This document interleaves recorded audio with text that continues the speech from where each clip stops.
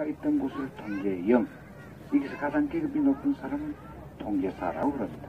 자, 이것을 연결하면 삼도수군 통제영, 지금 우리 해군 본부입니다.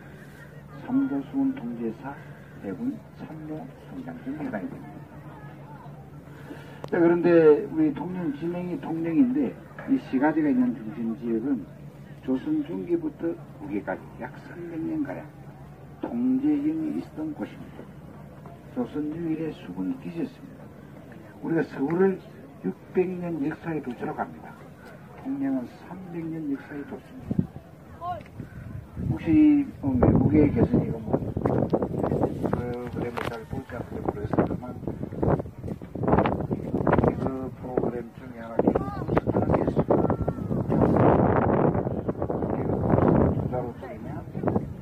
개콘이라고 통제영을 두자로 줄이면 통영. 그래서 지명이 통영인 것입니다.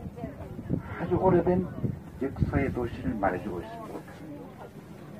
자, 중문은 제가 설명을 다, 아, 설명 제가 하고 넘어갈까요? 사람이 많지 않으니까 설명하고 넘어갈게요. 자, 이 시가지는 원래는 아까 전에 통영이라고 했죠. 처음에는 이, 우리가 보는 이 전체가 통영군이었습니다. 아까 제가 얘기했던 전쟁이 있었기 때문에 자, 그렇게 하다가 이 시가지가 있는 중심 지역에 사람이 모이죠. 사람이 모이니까 업으로 섞이게 됩니다. 댐들 지역은 통영군, 그 다음에 시가지 지역은 충북업이 됩니다. 그러다가 또 인구가 모이더죠. 그러면 그 당시에 행정구역상을 볼 때 인구 7만이 넘으면 시로 섞이게 됩니다.